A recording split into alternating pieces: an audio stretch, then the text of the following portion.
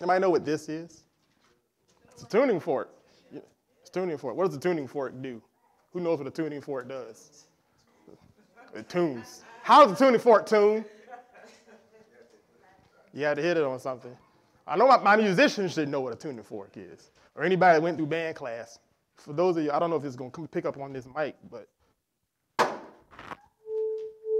hear that? All right? Tuning fork. I was sitting in service on Sunday, and the Lord said, I want you to go get a tuning fork. And He gave me a very simple principle. It has nothing to do with tonight's lesson, but I thought it was nice, and He told me I should, I should bring it up. I just do what I'm told, ladies and gentlemen. I don't run this thing. See, a tuning fork is made to play a certain tune. Now, this is A. This is 440 megahertz. This is A440. So this is the A above middle C. That's not important. Just know this is A. it's made to make that very specific tone every time you strike it on something. The harder you strike it, the louder it plays in A440. Okay? And the Lord said this to me. I'm trying not to bow my head down too much because I got this mic right here. He said, when you're in tune, the harder you're hit, the louder your tune gets. See, a tuning fork can only play one tune because it was made, and it's made out of steel, and it's made to make this very particular sound. And no matter how hard you hit it, it's only going to make this sound because that's the only tune that this fork has. And what happens is, in life, sometimes we get hit and our tune changes. And the harder we get hit, tune changes even more. But we're meant to be like this fork. This will never play another note because it's only made of one, and that's A. And I can hit it as hard as I want, and it's only going to play this note. He said, A believer who's walking in faith is like a tuning fork. When you hit them, their note gets louder. And the harder you hit them, the louder it gets. It doesn't change. It doesn't go up in pitch or down in pitch. It never gets out of tune. It stays right where it was made to be. The manufacturer of this little instrument made this to make this one tone, and it didn't program it with any others. You could drop it, you can step on it, you can slam it against any surface. And then there's another little cool thing. Now, I don't have an instrument here, but I, think I tested it on this. If you strike a tuning fork, this might mute it, you strike it hard enough, and then you touch it to something, everything that it touches will sing the same tune. Now, if I put this on a piano or an acoustic guitar or something, it would be really loud. Because when you're in tune, you will tune the things around you. If your tune doesn't change, when you're hit and you're singing your tune, everything you touch is going to sing your tune. But what happens is our tune fluctuates. So when we get hit, we call our auntie and we talk fear, doubt, and unbelief with auntie, and she talks that with us for an hour and a half. And then we call our best friend and we talk doubt and we talk what's on the news and what's in the weather. And that's a different tune. And then we try to call the pastor and try to talk faith. We got so many different tunes going. We're not affecting anybody around us, everybody's affecting us. Just be a tuning fork. The harder you hit, sing your tune out. And what's your tune? Well, the Holy Spirit will tell you what your tune is. And you don't change your tune for anything. I didn't say it was easy, but that's why they make these out of metal, because you can't break them. All right, I thought that was nice. That ministered to me as a musician. Now, how do I get into this? When we left off last week, I could have stayed two more hours, but my wife wouldn't let me. or my mama. My mama wouldn't let me. My wife would. But it's easier to blame you. No, it's not. That's a, I know. I'm, I'm setting myself up. I got to move this microphone because my head's to be down a lot, and I'm to brush this thing with my chin every chance. So y'all just give me one second because this to be the thing that bothers me tonight, and I need to be able to focus. So bear with me one second. I'm to put this over here. We'll see. Yeah, that's better. How'd that sound? That sounds pretty good. That'll, that'll function, right? When we left off last week, I left some of y'all with some questions. I like questions because questions means that I've touched an area of ignorance or interest. Either way, questions are good. We have a question box. Well, we had one. I don't know what happened to it. We have a question box somewhere. we, don't, we don't get too many questions in there. I'm hoping by the end of this series, there will be some questions in the box online somewhere. Or run up to me after service. I like answering in person. I don't care. Just have some questions. It's good to have some. But if you have one you think other folks might have, write it down so we can answer it from here. Pastor Diana has been talking about this kingdom, and I have to tell you, I have to tell you that this kingdom preaching has been revolutionary. It's been liberating because religion. Now, I love that point she made about religion being the government of the kingdom of darkness because you never looked at it that way before. And if you go back to the Old Testament and you go back through human history, you find that the devil always operated through religion. And then religion created culture. And then culture created human governments. And that is true to this day. Every modern government is a product of a culture of the people that form that government. And every culture is a product of some religion. So you got entire nations today whose core government was formed on religious ideology that existed 2,000 years ago that's still integrated into the culture of those people. And then those people built, built the government around that culture. Yeah. And that as the value, and whatever values were inherent in that religion, those values bleed into everything. Because the devil's always used worship as a means of control. You see, I'm get ahead of myself.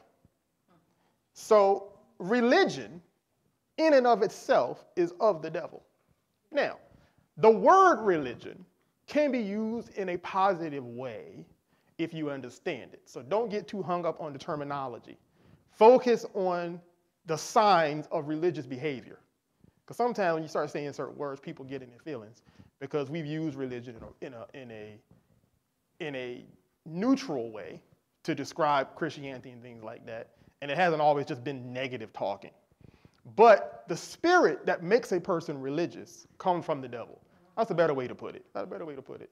The spirit that removes the Holy Ghost from the center and puts a set of customs and ideas in its place, in his place, is of the devil. Even if those customs and ideas are meant to be the worship of God because you're not worshiping God absent of the Holy Spirit. You can sing a song with Jesus in the lyrics. You can come to a building with a cross on top of it. You can engage in the rituals of the service, all in the service of the Christian God, and still not be worshiping God. Because the worship of God begins and ends with the presence of the Holy Spirit. The Holy Spirit he is the single. Important isn't the right word. One, because it's too small, but also because it isn't a perfect representation of his value to us. And I don't want to misrepresent him. I was going to say he's the most important member of the Godhead to us today. But important really isn't the best word, it's just the only one that's coming to my mind. And what I mean by that is this in the Old Testament, prior to Jesus, the most important member of the Godhead was the Father. And anytime the Father wanted to communicate or do anything with people, he would have to do one of two things. He'd have to send an angel or have to come himself. There's a, there's a, a, a chapter in Genesis where he visits Abraham before they destroy Sodom and Gomorrah. You know, he and two angels visit Abraham in the flesh. And Abraham recognizes him and entreats him per their Middle Eastern custom. And then the, then the two angels go on to Sodom and Gomorrah and burn it down. Uh, that doesn't happen very often. But then Jesus is born. And when Jesus was in the flesh in the earth, the most important member of the Godhead in the earth was Jesus. Any contact you were going to have with God was going to be directly through contact with Jesus. There were no more prophets. The priests weren't talking to God anymore. It was Jesus. Jesus was the man. If you wanted to get close to God or get access to the kingdom of God, you had to find Jesus himself. He was the most important member of the Godhead at that period in history. Then Jesus left and sent the Holy Spirit. And that's the dispensation, that's the era that we live in now, where the Holy Spirit is the most important member of the Godhead to us today because he returns us to the way we were in the garden. He returns us to the state of being that Adam had prior to his fall. Because Adam was the Spirit of God breathed into flesh and given form. And his connection to God is what made him a living soul. And when he sinned, he disconnected himself from the Holy Spirit. The Holy Spirit lifted from him and left him. That's why his anointing left. The Holy Spirit is the anointing. You're not anointed without the Holy Ghost. The anointing manifested in the Old Testament clouds of smoke and things like that. But it was always an act of the Holy Spirit. It was always a Holy Spirit ordained activity. We're looking for clouds of smoke and things like that now. And that's great. But we have something so much better. We have the actual Holy Spirit living inside of us. Amen. And we neglect him, and then we come to church and wait for the pastor to preach down a cloud of smoke. we want to praise down a cloud of smoke. But you wouldn't know what to do in a cloud of smoke, except cough. I'd rather attend to the Holy Spirit in me on a daily basis because it's such a privilege, you take it for granted, like most privileges. Most privileges are taken for granted until you don't have them anymore. See, Adam took his privilege for granted and ate the fruit. Then he lost the Holy Spirit and realized that without him, he was nothing but flesh, and his flesh was naked. And so his fear came upon him, and he ran. Jesus never took the Holy Spirit for granted, which is why he was with him all the way to the cross. And he didn't leave him until he became us. And then the Holy Spirit left him. And for the first time in Jesus' life, he realized what it was like to be a naked man without the Holy Spirit. Because the Holy Spirit couldn't go into hell with him. Jesus had to go as sin. He had to surrender himself to death. In order to die, you can't have the Holy Spirit in you or you'll never die. See, God told Adam in the garden, if you eat this fruit, you will surely die. The prerequisite for death is to be absent from the Holy Spirit. It's got nothing to do with flesh. The prerequisite for death is separation from the Holy Ghost. That's why everybody who was unsaved is dead. In the spirit, they're dead because there's no Holy Ghost in them. When Jesus resurrected, he came to his disciples and he breathed the Holy Ghost into them and then they became alive. And these are the only living people on the planet at this point. Everybody else was dead. Animated flesh does not mean you're alive. It just means there's a dead spirit because death does not mean non existence. You will never cease to exist. You're going to exist somewhere forever. You got to change your definition of death. When we think of death, we think of somebody's body falling to the ground and their spirit leaving their body, and then you got a hunk of flesh. Let me explain something to you. That is not the definition of death. The death of the body is not the death of the person. The death of the person is when they are separate from the Holy Spirit. Just like the person becomes alive when they receive the Holy Spirit and become born again into life, the Bible says. Amen. into new life. Now you are a living person, regardless of the condition of your body, which is why when your person's body dies, but they were born again, their living self goes to be with the Lord. Because that's where all life originated, that's where all life returns. But if they were separated from the Holy Spirit when their body dies, they go to hell because that's where all death goes. And all dead things end up there. Does that make sense? I'm taking my time. I'm trying to, because sometimes you kind of go kind of fast and you jump over things you think people understand. I'm sure everybody understands. Life and death have nothing to do with the condition of your body. Life and death have everything to do with the, the condition of your spirit. Amen. If your spirit is one with the Holy Spirit, it is alive. Thank you for that. If your spirit is separated from the Holy Spirit, it is dead. God told Adam, In the day you eat the fruit, you will die. He didn't say anything about his body. He wasn't talking about his body. He didn't care about his body in that respect. He's talking spirit to spirit. He said, You and I will be separated, and I am the source of life. Without me, there is no life. So if you separate from me, you are dead. And that's what he was explaining to him. The serpent lied and said, You won't die. We won't surely die. It's worth the risk, Adam. Eat the fruit. It's worth the risk. He knew what would happen, but he lied because that's what he does. And he's good at it.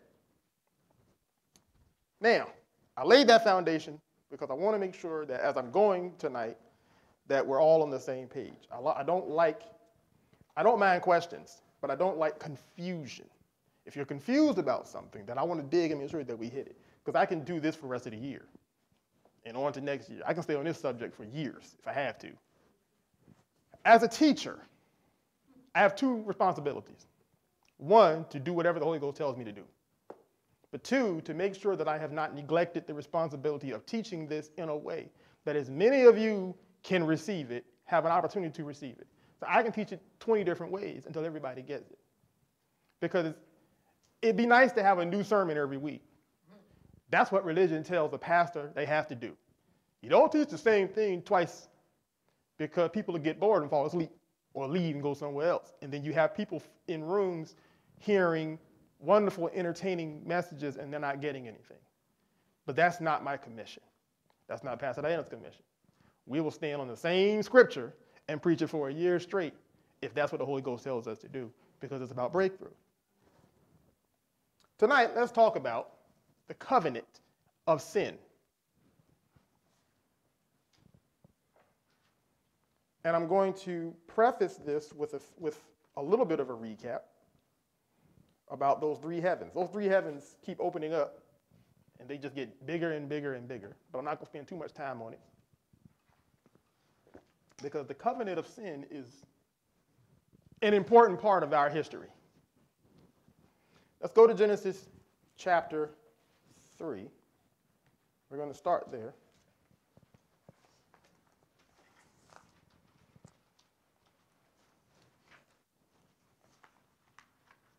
Let's look at the moment that the covenant was made, and let's look at what the ramifications of the covenant were. Because the question has been asked why did Jesus have to die for us to be saved. And we know that we know all of the things about sacrifice and slaying of lambs and, and all of that, but why? That was the method, but why was that why was that necessary? Genesis chapter 3, verse 1. Now the serpent was more subtle than any beast of the field. And people have read that and said, well, see, it was a snake because he said it was more subtle than any beast of the field.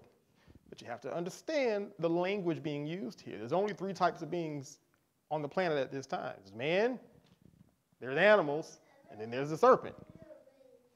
That's it. The spirits. Okay. I'm going to have to jump a little bit. Let's do this. So every time I go somewhere, I get stuck somewhere. And it's y'all fault. Because I would love to just go through this thing as I, as I, as I picture it, but Bible says that angels are spirits. This is everything we need to know about angels. This is Angels 101. All right. What is an angel? We said last week that they're not just human looking dudes with wings. That's the word angel simply means, so the word angel in the, in the Latin and in the Hebrew actually just means messenger. That's all it means. It doesn't have a bigger meaning than that. The word angel. It just means messenger. If you ever seen the word evangelist, the word angel is in the middle of the word evangelist because they have the same root. And, it, and an evangelist is someone that God gives a message to, and then they go out and they preach that message to everywhere they can go. That's all an evangelist is. Well, angel is just Latin for messenger. The Bible says the devil has angels, right? So don't think of angels simply as big guys with big wings. There's a, there's a type of angel that has wings, but there are many that don't. So don't try to lock them into a certain image because artists over the centuries have only drawn angels one way. The Bible describes angels as ministering spirits. The word minister just means administrating. This is what the Bible calls angels. And it's more important to go by what the Bible says than by what Michelangelo said. Amen. Okay? Michelangelo drew some angels, Da Vinci drew some angels, everybody drew some angels, and they all drew them one way because they were pretty, and they made them look like Italian men, right? Because they were Italian. If we drew angels, they'd be black. Just don't lie. Somebody got, somebody got a black angel in their house right now. If I didn't, you didn't have to raise your hand, but I appreciate your honesty. I appreciate your honesty. it was a gift as they tend to be. Somebody's out here buying them and then giving them to, to all their saved friends. I don't know who it is, but the Bible calls them ministering spirits. The word ministering simply means administrative. I'm not writing that word. I know how to spell it, but I don't like writing on this board. It's going to get uglier as that goes. Deal with it. The English word ministry just means administrator. Everybody in here either deals with some kind of administration or is in administration. If you're a secretary, that's an administrative job. If you're an accountant, that's an administrative job. If you're an HR, that's an administrative job, right? If you're a manager or anything, most companies have administration. Somebody's handling the day to day affairs to keep the company running smoothly. That's all administrative means. The other meaning for minister is servant.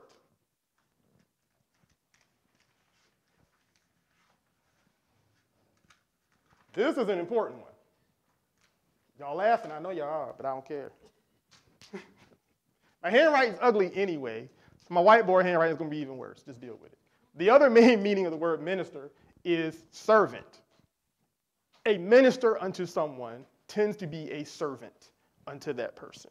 Uh, it was more commonly used in the old the Old English, you know, a servant might be called a minister to the king, or a minister unto this prince, or a minister unto someone. Even the word minister, when referred to pastor, teacher, apostle, prophet, evangelist, means servant. Because, see, in the church, now Pastor Diana taught this, the church is, has an administrative function in the kingdom of God. So it's full of ministers. And the leaders in the church, the apostles, prophets, pastors, evangelists, and teachers, are ministers in both senses. We have administrative responsibilities. We have to manage the souls of the people, as well as the affairs of the church in the earth. And we also have to serve. When you call your pastor at 4 o'clock in the morning because your kid is in jail, we have to serve that need, even though we'd rather be asleep. When, when the neighborhoods fall into pieces, people go to the church to see what's the pastor going to do. That's a servant position. Okay, so the word minister in every term means a servant or an administrator. Everybody get that? The Bible also says that angels are ministering spirits to us. So every angel made has an automatic responsibility to serve us and to administer over those things which concern us. That makes sense. Bible says in Psalms 91 that God gave his angels charge over us to keep us in all of our ways. To protect us in our ways, God's angels, God's ministering spirits, protect us. He gave them that responsibility. Now, in that second heaven is where the angelic activity happens. It's where it happened in the past, it's where it happens now.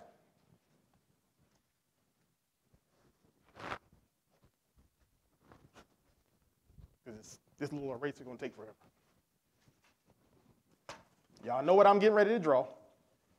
I'm about to draw them heavens for the fourth time, third or fourth time.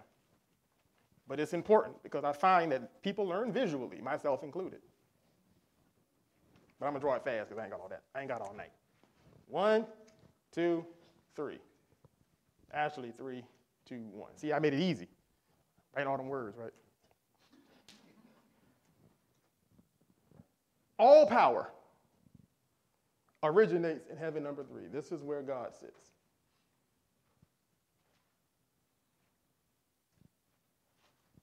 That's God's name. That's his proper name. In Hebrew, that's his proper name. It's, it's unpronounceable, actually, but attempts are made at pronouncing it. Normally, we English folks put vowels in there to make it pronounceable. We call them Yahweh. You've heard these people calling them Yah. For all you, for all you black Hebrews that came up with your own religion, the actual Hebrews don't call him Yah. It's just, we just got to make everything a little cooler sounding. Uh, but for, interestingly enough, the word hallelujah is actually two words. It's actually not a word, it's a, it's a command. Hallelujah is Hebrew for worship, and then Yah is shorthand for Yahweh. So it actually, when you hear the word hallelujah, someone's actually telling you to worship God. It's not a word in and of itself, it's two words put together. Uh, but I mean is one word. uh, all power originates here. And then it is administered here. So it flows from here and all angelic activity. Remember what I said about angels? Don't just think of guys with wings. Think of all spirits. All non earth spirits have a job here. Okay? And then here is where it all manifests. And that's where we live. We live in the realm where we can see the first heaven. We look up, we can see that because God called that heaven. He called the sky heavens. Outer space is heaven. Anything we can observe, not earth, is heaven. The stellar heavens is a common term used for it.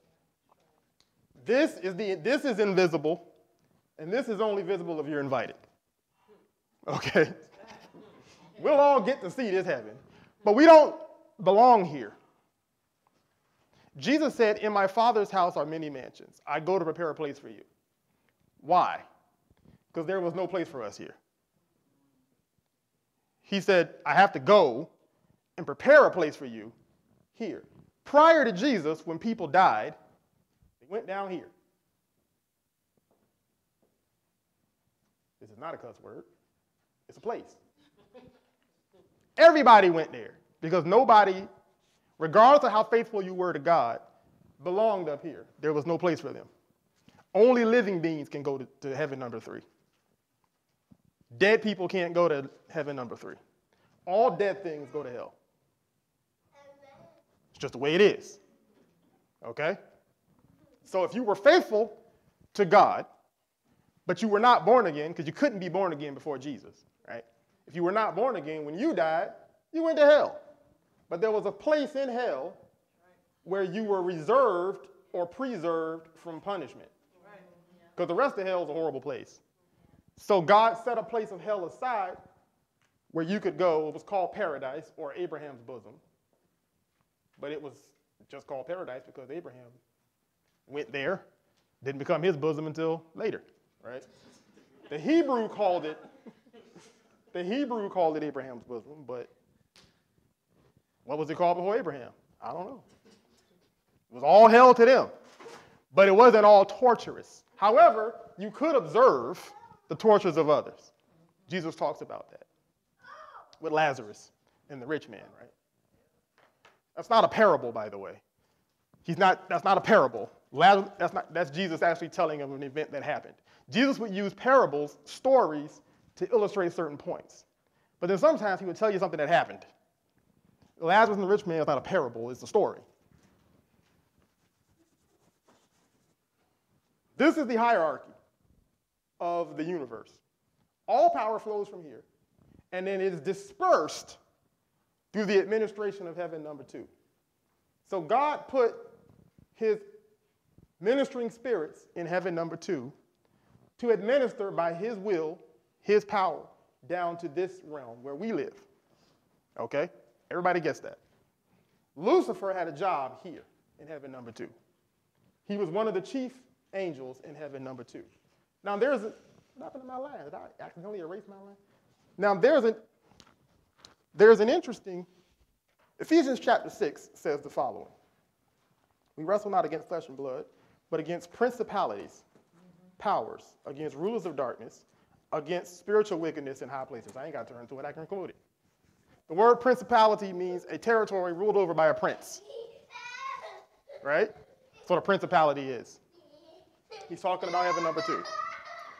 Principalities, powers, rulers of darkness of this world, spiritual wickedness in high places. He calls it high places because it's above ours. It's above our location. Okay? In Daniel chapter 12, Michael the archangel. Who's familiar with Michael the archangel? Who's heard of Michael? Raise your hand if you've heard of Michael the archangel. Okay. Michael the archangel is mentioned in the Bible. And in Daniel chapter 12, he's called a great prince. You see, Michael is an angel. And he's an angel with authority, but he's referred to as a prince because he has authority in this second heaven. But unlike Lucifer, Michael remained faithful to God. So he's one of God's angels who God used heavily in the Old Testament to administer his will on the earth. He would send Michael to do things. Remember when Daniel prayed to the Lord and it took three weeks for him to get an answer? Gabriel is another one of God's archangels who stayed faithful. Gabriel got Daniel's answer from heaven number three, sent down to heaven number two, and he went, he went to work. But there's two factions of angels in heaven number two those who align with Lucifer and those who stayed aligned with God. So Gabriel just can't go down here and give the answer to Daniel right away, even though he had it right away. He has to battle through these principalities and powers and rulers of the darkness of the world. Gabriel had to do it. Couldn't do it alone, so he got help from Michael. And the Bible calls Michael a great prince. And Michael and Michael's armies come and back up Gabriel. And they break through the resistance in heaven number two, and they come down to heaven number one, and then to earth, and they bring Daniel his answer. Okay? So when we see, especially in the Old Testament, we see talk of different princes and kings. Sometimes it's talking about human beings, sometimes it's talking about angels, because these are also referred to as princes and kings. So you have to know when you're talking, because in the spirit realm, there's rank. And you have princes and kings in this realm that operate according to a hierarchy. They got angels under them, they got spirits under them. Okay? Does that make sense? When Lucifer began his rebellion, it didn't happen all at one time. First, he recruited a third of the administrating spirits in heaven number two. He recruited them to his rebellion because he couldn't do it on his own. If he was going to run things, he was going to need a kingdom. He was going to need a group of capable spirits to administer his kingdom. All demonic activity, all demonic activity is just the actions of those spirits operating according to the will of the devil and his kingdom. That's what a demon is. Now, there's some people say they're disembodied spirits from the past. That's not true. That's apocryphal because disembodied spirits ain't floating around getting in other people's bodies. That's not, I've heard it, I've heard it in otherwise well informed anointed circles, but the Bible has no evidence for that. That a whole group of people died and then their spirits became demons and then they take over people and stuff. No, they're right here. The Bible already tells you the devil has his angels. And we know what an angel is it's just a spirit. It does not mean the devil has an army of guys with wings, it just means he has an army of spirits that spread his message and that use his tactics to influence the acts of man. That's what a demon does. In the Old Testament, they had free reign because their authority, Adam's authority, was given to them. So they could do things without reserve, except when a higher order was given. Because even though they were in rebellion, they still don't have power over all. So, what God does, where's my, where's, where's my thing?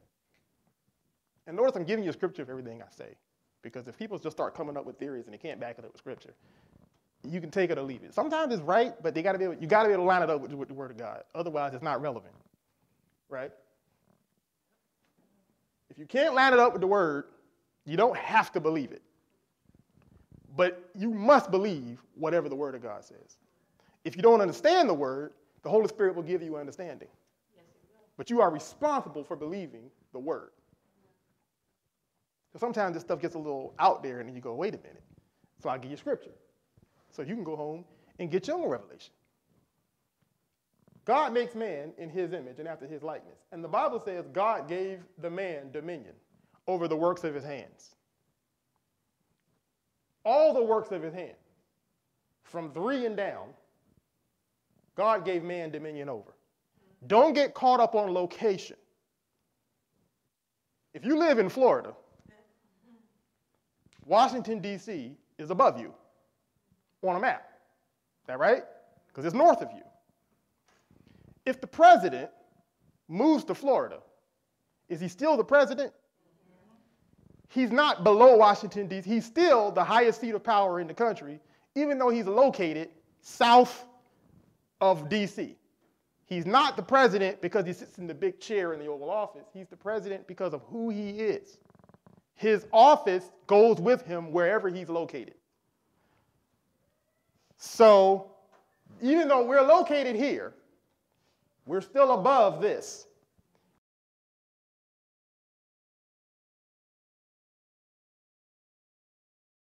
It's government. And the structure of the government means man is second only to God. The Bible says that what is man that thou has knowledge of him and that thou visitest him. Thou hast made him a little lower than yourself, a little lower than Elohim, and crowned him with glory and honor and given him authority over all the works of your hands. The angels make that comment because up until the creation of man, it was God, angels, and the earth. Then God made man, and man went up here. and had authority over number two, just like God did. And angels were like, Well, what is that? He looks just like you. You positioned him, you located him physically down here, but his power and authority comes from way up here. We didn't issue it to him, we didn't administer it to him. We have our hierarchy in heaven number two. We know who that prince is. We know, we know Michael's a prince. We know Gabriel's a prince. We know Lucifer's a prince. We know these guys.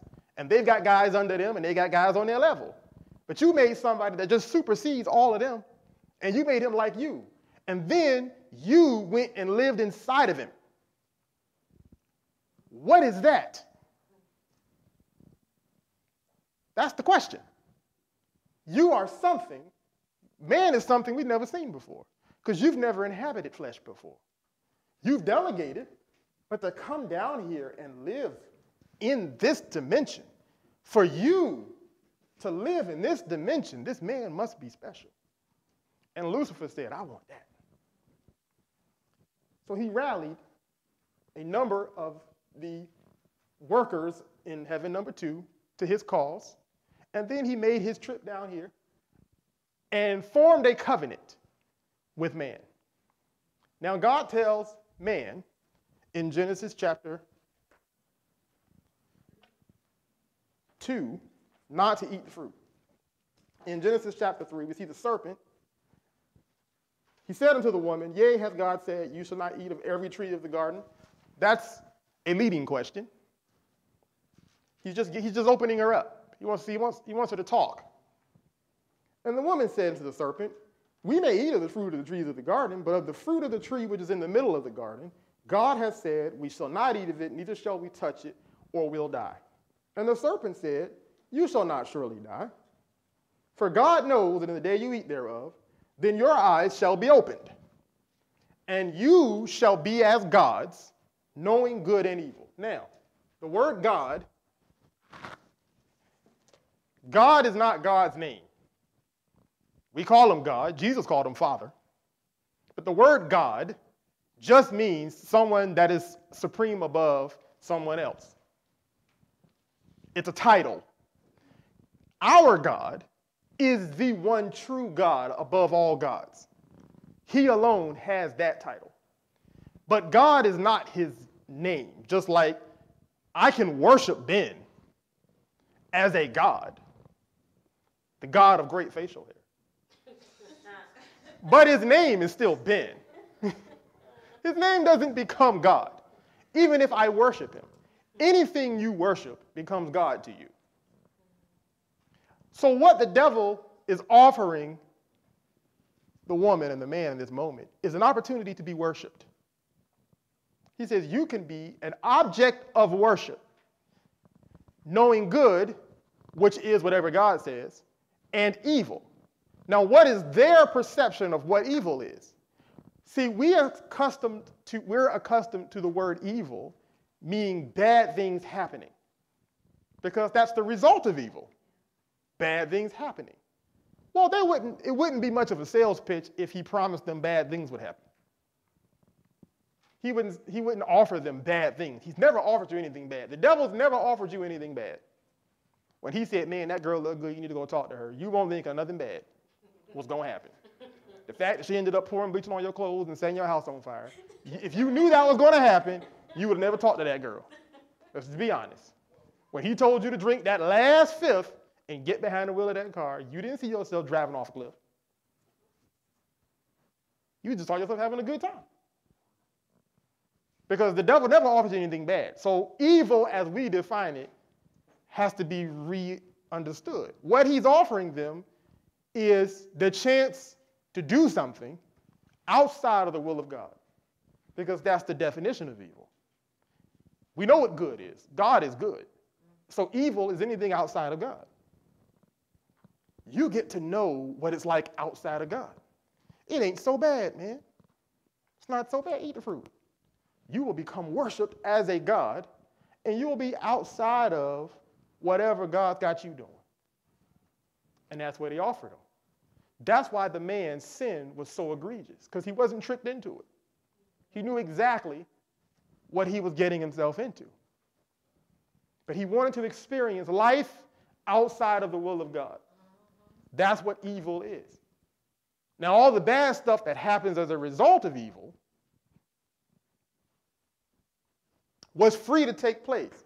Go to, very quickly, Romans chapter 5. Now, Pastor Diana took us there, and she jumped the gun on me because she tends to do that. I'm just playing technically the person who started preaching first is uh, is is her. So you know, I I'm always kind of jumping on her. Romans chapter five, because she's been preaching, you know, years longer than I have, obviously. Romans chapter 5, go to verse 12. Wherefore, as one man, sin entered into the world, and death by sin, and so death passed upon all men, for that all have sinned. Paul says that Adam's one, Adam was the guy who invited death into the world through sin. So Adam went to sin. He didn't go to die. Just like you go to sin, you don't go to die. Adam invited in sin, and then sin brought death with it. Adam, see, the serpent told the woman, You shall not die. Because if he had told her, Yeah, you'll die, but it'll feel good, she wouldn't have took it. What they thought, what she thought would happen, was I'm gonna eat this fruit, I'm gonna stay how I am, and I'm gonna add something to me I didn't have before. I'm gonna get to experience this evil and still be what I am. When God said, You will die, you will stop being what you are, and you will become a dead thing. That's right. So he didn't promise them, the devil didn't promise them death, he promised them sin. And they took the sin. And death brought sin with, I mean, sin brought death with it. And then all of us came out dead. For until the law, and I'm going to skip ahead, nevertheless, death reigned from Adam to Moses, verse 14, even over them that had not sinned the same way Adam sinned. Verse 16, and not as it was by one that sinned, so is the gift. For the judgment was by one to condemnation. But the free gift is of many offenses unto justification. That's a Hebrew argument that I'll have to get into later. Verse 17 For if by one man's offense death reigned by one, death reigned. The word reign is important there because the thing that was, that was ruling over the earth after Adam brought sin in was death. Everybody was afraid of death. They worshiped death. They did everything as a result of death. Death took over as the obsession of mankind. We created death everywhere we went. We feared death everywhere we went. We didn't fear death before. Before sin, we didn't fear death. Death had no power. But then death reigned.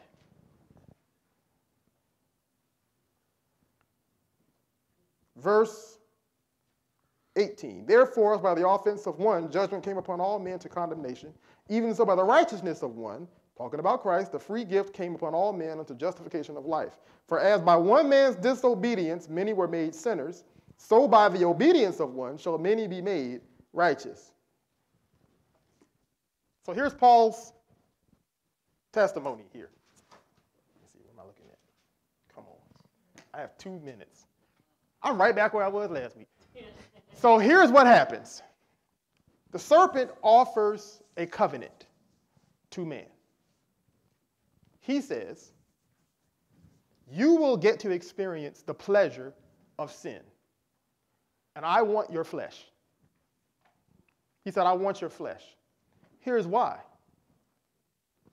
the power of an administrative spirit is always delegated by God or a God like us. They have no expression outside of that. They can have thoughts and ideas, but they cannot have expression. When you see a person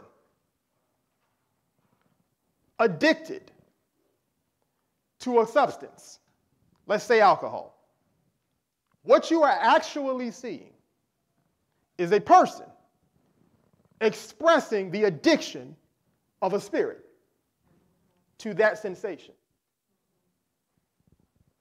When you see a person engaged in fornication or lust, and they just can't seem to get it off their mind, what you are seeing is a person under the influence of a spirit who is consumed with lust.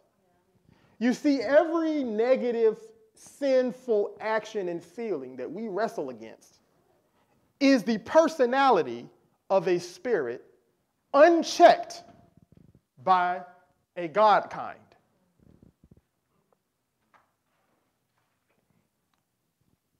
That's why when Jesus met the madman of Gadara, and he had all those demons in him, and he cast them out of the man, they had to go kill something. They didn't just go, well, maybe next time. These were not calm spirits doing a job.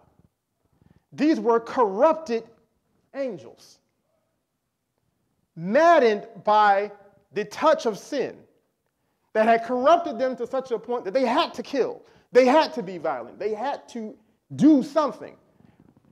But their power is always regulated by a God kind or by God Himself. So what so if Lucifer wanted to have free reign to allow himself and his angels to express themselves, somebody had to give him access to flesh, to their flesh. And through that access, he could run the world. So he comes to the man. I know I'm jumping over just a little bit. Oh, I'm sorry. You're going to teach it better on Sunday anyway. That's why y'all got to come back. He had to give, he had to get access to the man's flesh. So the man says, You can have my flesh. I want sin. That's a covenant. And the man gave his flesh to sin. That's. That's the covenant he cut with sin. Now, the only way to end that covenant, so here's the thing you can't end a covenant. You can create a new one, but you can't end an old one. So Jesus has to be made in the flesh of man, but made like how Adam was made. Formed in flesh, but spirit from God. And then he has to give his flesh to form a new covenant that people can choose. Right. This is why he has to die. Because the Bible calls him the last Adam. Because he's the last man who has to die for Adam's sin. After Jesus, no one else has to die for Adam's sin. You can choose to, because you can choose to keep on with Adam's covenant, which is still at work in the earth. People die and go to hell every day because they choose Adam's covenant over the new one that Jesus established for us. Because Jesus didn't make the old covenant go away. He gave us a new covenant so that we could decide which covenant we would choose. If we choose Jesus's, we become like him. If we choose Adam's, we stay like Adam. Very simple stuff. Then the devil, and I'm backing up as I say this, to make sure he could get maximum expression, he established religion. All demonic worship in the Old Testament was centered around a, a worship of some god. He would put a demon in a spot. One was named Baal, one was named Asherah, one was named uh, uh, Dagon. These were demonic spirits. They had names. And they wanted to express themselves. So Asherah was a fornication spirit. She loved fornication. And everybody that worshiped her did it through fornication and prostitution. So to express herself, she could use the flesh of her worshipers. So here's the question of the evening that I will leave with you. What demon gets to express himself through your religion? Because their tactics didn't change. Nope. They still use religion to express themselves. Some people's religion is their race. They're so black or Asian or Hispanic or whatever, or white, that they will commit any level of atrocity in the name of their race. Some people's religion is their money. Bible calls that greed. But it's a demonic spirit expressing itself through something you worship. You got to be mindful. I'll pick up there next week. Part one, again, Pastor Diana. She's going to come back and teach this better than I did tonight. I just know it. No. Same Holy Spirit. I'm going to get the rest of this on Sunday while she's teaching, and then I'm going to come back on Wednesday. So y'all just hang on. Hallelujah. Father, we thank you this evening for your word. I know I went a little over time, but there's no time in the spirit, so I'm still good. Father, I thank you for your Holy Spirit teaching us, leading us, guiding us, enlightening us with revelation knowledge that only you can give. Father, we're so grateful for the opportunity to be, to be awakened to the revelation of the kingdom of God and our place in it. We thank you so much for revealing these things to us so that we can walk with you and walk like you, both in this earth and in all the heavens, which are ours by right. So we thank you, Lord, that as we leave this place, but never your presence, we are reminded of your promise of divine protection in Psalms 91, that you've given your angels charge over us to keep us in all our ways, and they bear us up in their hands. We thank you that we're divinely protected from all hurt, harm, danger, injury, theft, damage, sickness, disease, or any work of the evil one until we come again together on Sunday to worship, praise, tithe, give, and to be fed the uncompromised word of truth. In Jesus' name, amen. Thank you for watching today's broadcast. Now, we don't want you to miss when we go live again. So if you live in the United States, sign up for Rapture Go. Text Rapture to 757 780 4949 and we'll send you a text message every time we go live. If you live outside of the United States, then subscribe to our YouTube channel and like us on Facebook so you never miss one of our live broadcasts. We thank you for watching. God bless you.